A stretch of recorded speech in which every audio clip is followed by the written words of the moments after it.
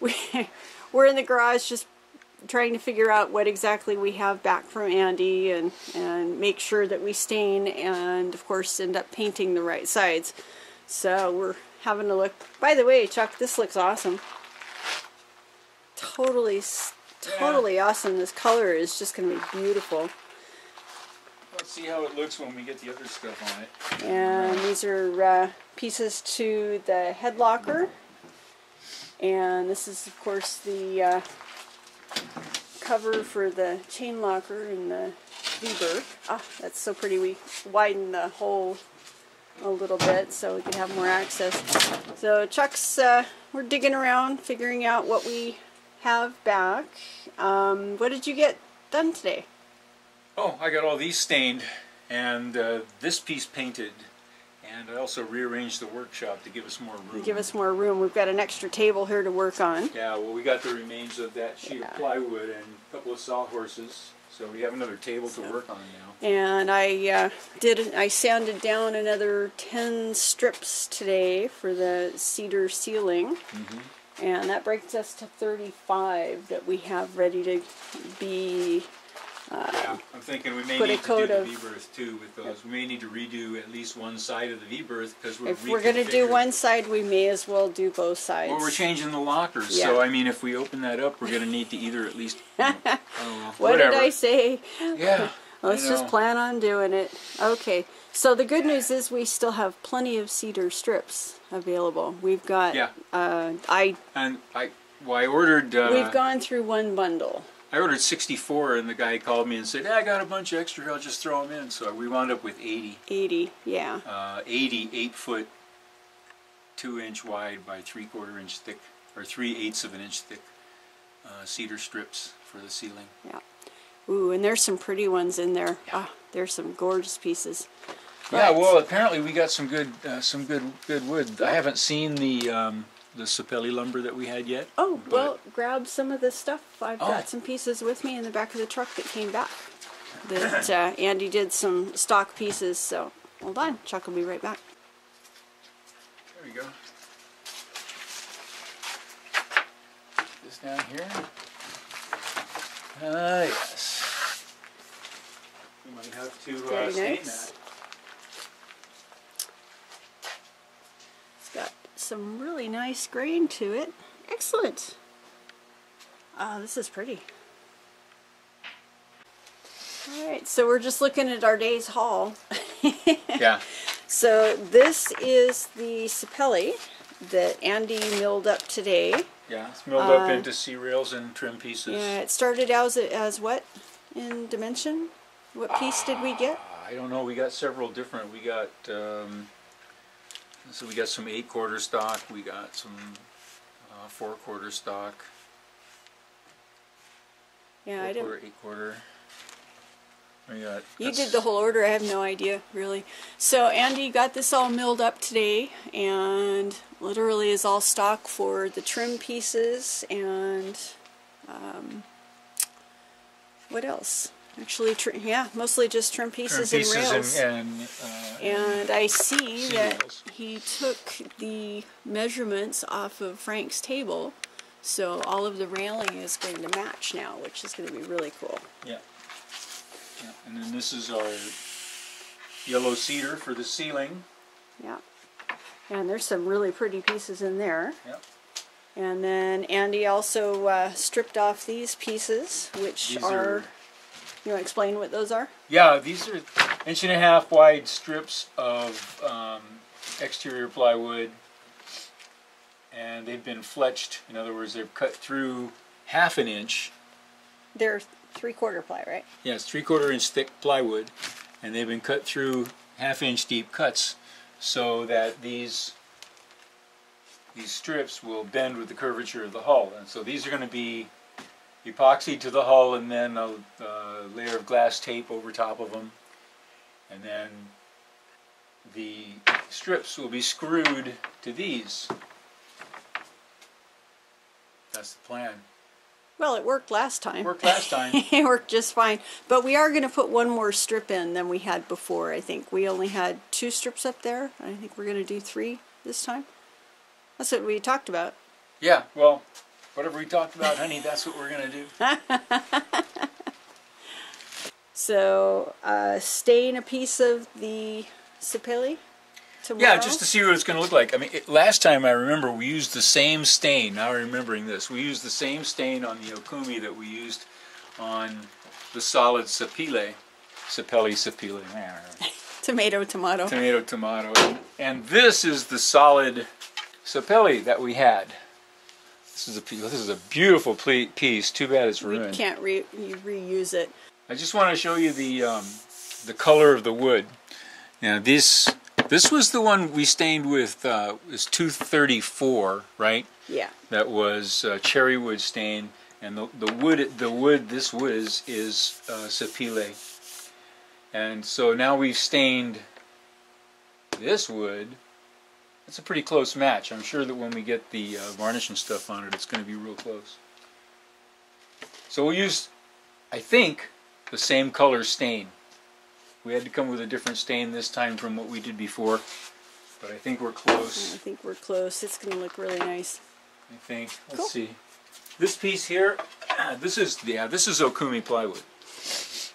This is this piece is Okumi plywood, and it it has the um, Minwax Cherrywood 234 stain on it, and then varnish on top of that. And this this is uh, uh, Okumi that's been stained with Minwax 215 red oak, Red oak. which looks pretty good. Yep. it And sure it's fairly is. close. It's fairly close, depending on what piece you're comparing it to. It's fairly close, and I'm sure once we get the varnish on, it's going to look great. Yep. Looking forward to it. Looking forward to this being done. Oh gosh, me too. But Right we now have we're been spending a lot of blessed with mild weather that has allowed us to get all of this done. Yeah, well, we, we've been able to make progress. Thank you for the weather, but uh, yeah, we just have to keep moving while the while it's while we have good weather. Yep. All right. Done for the day. Done for the day.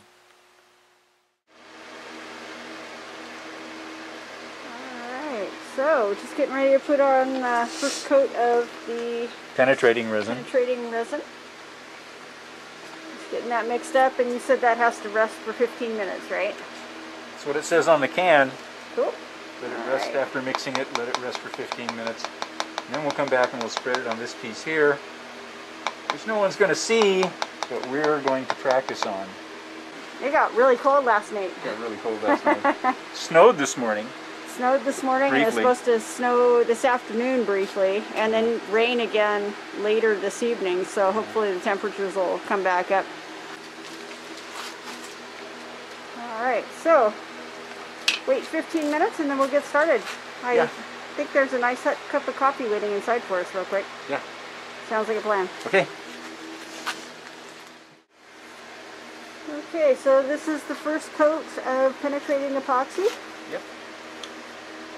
First coat of penetrating epoxy, and I'm going to lay it on the way I would normally lay on, um, well, not exactly. Kind of like I would do um, varnish. Actually, it's not varnish. It's a sealer, so. But still, we don't have a lot of experience with this product. What we have so far seems to be working out pretty good. And we're just gonna be very, very careful with it.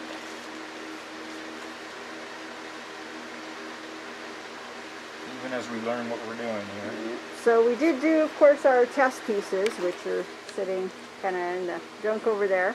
Sitting over in the pile. Yeah.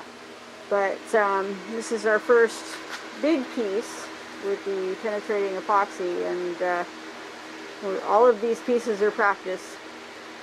This one won't be seen at all once we get it installed. So, No, it won't be visible at all. and You'll actually, we're even it. talking about painting it over so we can have a nice white locker.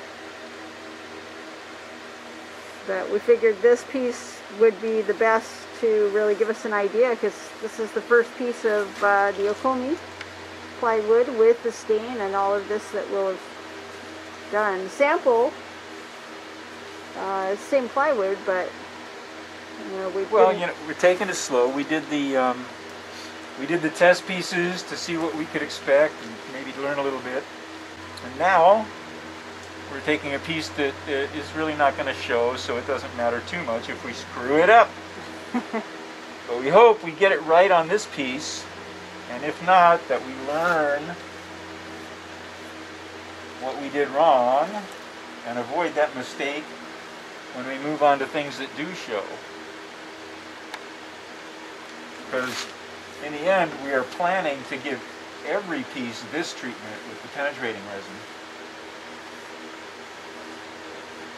Even the pieces that aren't going to or that are going to show the furniture pieces, they're all going to get this penetrating resin treatment, and then they'll be varnished afterwards. So this is the first stage. Just about all of the plywood pieces on the boat are going to get. Yeah, we've got uh, four days to play catch up with what Andy got cut for us. Uh, supposed to have some snow this afternoon and then rain again this evening, so temperatures might or might not cooperate. Uh, right around freezing, Yeah, and not maybe not quite cold enough for the snow to stay. but we'll, uh, little help from the heat lamps and the heater. Yeah. Uh, we've been, what, able to maintain consistent temperature about 70 on About the table? About 70 on the table. Yeah. So, got enough workspace to, to get stuff done. What I'm doing here is I'm just going to try and get a nice even coating without running it over the edge.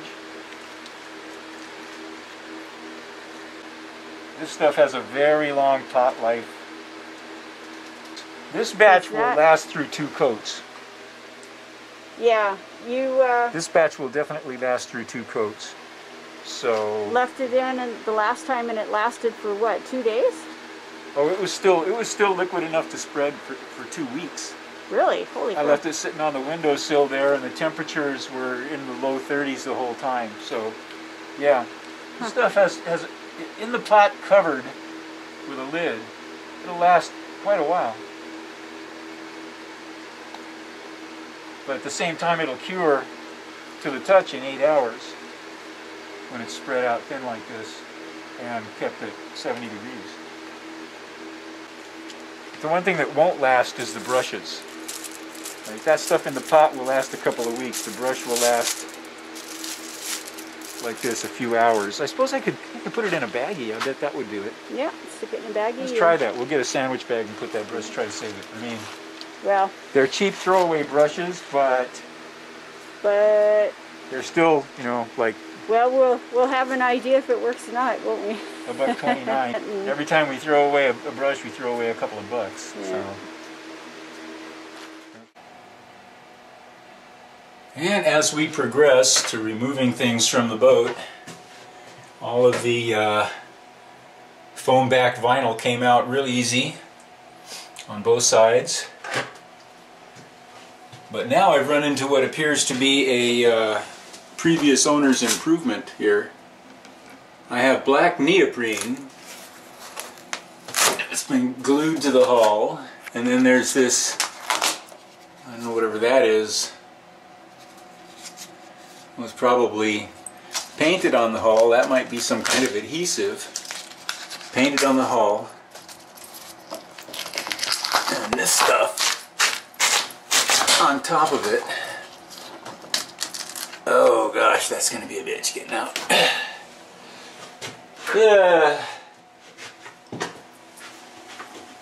Let me sit down here for a minute. Okay. Well, we've got a lot of stuff done. Got the uh, forward cabin stripped. The main bulkhead is still in. We got the uh, the settee and the dinette completely out now. Stripped down. We just have to clean the hull. In the uh, main cabin, and then we can start dismantling the galley